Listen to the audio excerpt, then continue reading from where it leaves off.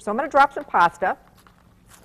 Uh, any kind of a spaghetti, fettuccine, we're going to use linguine. Orzo pasta would be nice too. And now they have this new quick cooking pasta that cooks in less than like five minutes. So if you need to get dinner on the table in a hurry, that would be great too. How are you doing, Anne? Good. And the dog? Wonderful. Good. It's you know the one fun thing about coming back to work is it's been a while. We haven't all been together, the whole gang. So Greg, the director, and Abby is back from maternity leave, and her beautiful baby Hudson. And I know that was hard to come back, but she was just so excited to work with me again that it made it all better. so I'm going to heat a little olive oil in our nice big skillet here. Did you salt your water? Oh, I did not salt my water. I've got the little little bit of a case of the Mondays. Yeah, always season your uh, pasta water with a little bit of salt. It's really the only chance to get in there and give it some good flavor. All right, so I've got about a cup of onion, finely diced. I'm going to start sauteing that in the oil. Have you been reading the book club book? I sure hope you have. It is fantastic. I am loving it. Still have about a quarter of the book left. It's called Half Broke Horses by Jeannette Wall.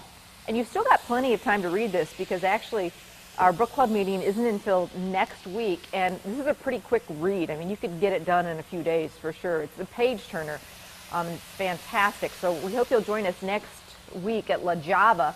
We're going to La Java in Suamico, a really great place. They're going to provide snacks so everybody can get a coffee and we'll talk about the book. It's just going to be a really great night. So I hope to see you there. And then we'll also announce our next book club pick there. So call and make reservations or just stop by and join us. Um, it's Tuesday night, I believe, right, Abby?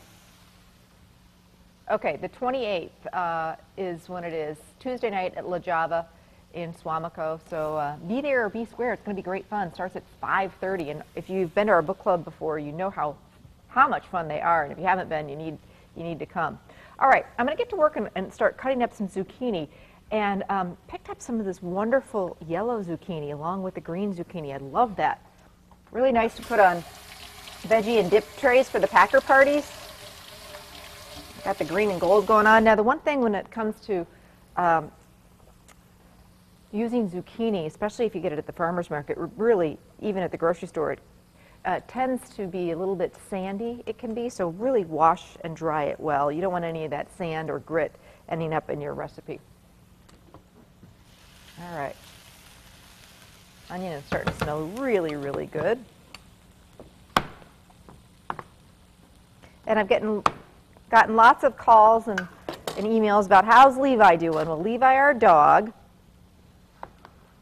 13 year old chocolate lab who we adopted from the shelter about six years ago is, um, well, he's got a tumor, um, but the doctor says he's doing great and he's feeling great and he's been actually having a wonderful summer. Uh, he's just slowing down a bit, but uh, he's still with us and uh, loving the cooler weather. I think we all are. So that's our Levi update.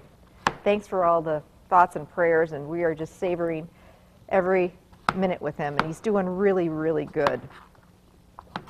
Okay, so I'm going to get my zucchini in here, start cooking that. A little more oil. And I've just chunked up the zucchini. Really like using the two different colors. Just this is such a colorful dish. It's beautiful.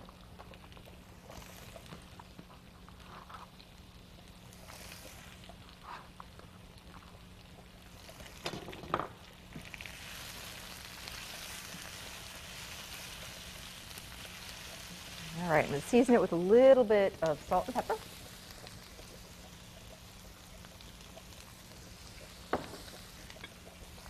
We also have another big night out coming up. And these are a blast. And we'll give you all the details in just a few minutes. But uh, basically, I think we could all use a, a new, uh, fun big night out every once in a while. We go to local restaurants. They pull out all the stops. And we're actually headed to Bistro 42, uh, just north of Sturgeon Bay in Carlsville. It's going to be a gourmet dinner paired with wines. And actually, the chef is here, and we're actually going to be making and showing you some of the dishes that we'll be having. So please join us. It's going to be a wonderful, wonderful evening, Sunday, September 16th. If you've been to our Big Night Outs before, you know what a great time they are. Okay, now I'm going to add my shrimp. I've got one pound of peeled and deveined shrimp. These are just, I just picked these up at Festival, the frozen shrimp. I love buying the shrimp in, in a, the big two pound bags because then you can just take out what you need. We actually had this for dinner last night. Thaws really quickly. I just uh, run it under uh, cool water in a colander in the sink and it thaws out in minutes. So it's, it's great to have on hand in your freezer. It's a real quick fix. Got some fresh garlic here. Turn up our heat. I don't want to overcook our pasta.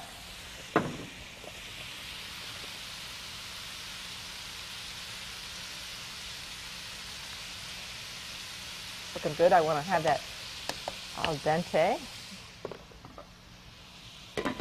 Get to work on my garlic. Abby, we need some new pictures of Hudson. Can you get some of those so we can show people this week? He's so cute. He's getting so big. How old is he now? Three months on Friday? Wow, I can't believe it. So cute. Are you getting any sleep at all? Wow, she says he slept over six hours for a whole week straight, so good. He's round in the corner there. Next thing you know, you're going to be moving him into the college dorm. Seriously, I have no idea where the time went. All right, I'm going to add some garlic, fresh garlic, and you know the, the old rule. Once the fresh garlic hits the pan, 30 seconds and keep it moving, move it, moving. Don't want to burn that garlic. Wow, does this smell good or what? Been going to the farmer's market. So wonderful. Picking up some flowers and some of the other great things. Zucchini is fantastic. The tomatoes are just unbelievable. Speaking of the tomatoes, I've got these great cherry or grape tomatoes that we've just cut in half. See how this dish is just beautiful and very, very healthy. We've really tried to have a healthy summer in our house. A lot of exercise going on.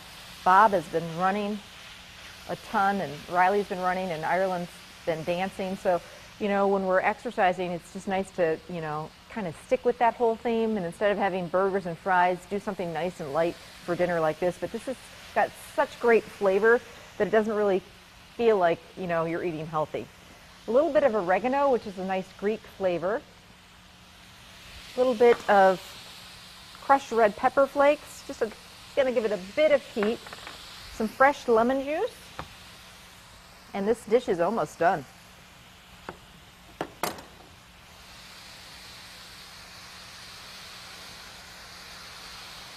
And you can do some, just to kind of give it a nice sauce besides the lemon juice, we're going to do three quarters of a cup of dry white wine. And if you don't want to do wine, you could do chicken stock. And now I'm going to drain our pasta and Love getting the wine in these little bottles because you can put this, the cap on them. Uh, you don't have to buy real expensive bottles of wine when you're cooking. So this makes a nice light kind of a lemon wine sauce. All right, let's go drain our pasta and we'll get this dish ready to plate.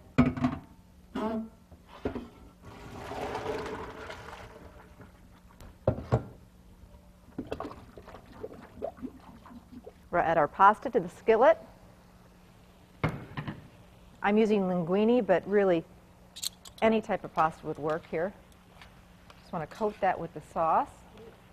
I know, doesn't it look and smell delicious? And it's really a quick cook. You can get this for people who say, I don't have time to make dinner, I don't know how you do it, Amy. You know, um, seafood, quick, quick, quick. Um, usually quicker to cook than even chicken. Pasta, great to have on hand in your pantry, and you can really get this uh, on the table in minutes. You'd pay big bucks for something like this at a restaurant. Make it at home. Just chopping up some parsley to finish off the dish. And we also got some feta cheese. Just a little dab will do you.